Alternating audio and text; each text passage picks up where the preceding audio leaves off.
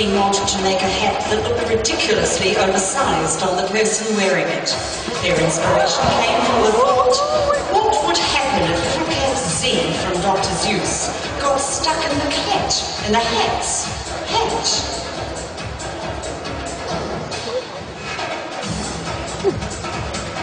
Dacron and wire have been used to hold the shape of the hat, which has been covered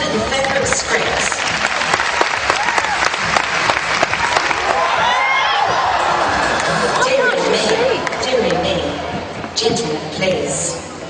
And you will also notice the trademark red and white stripes as per cat in the hat. Take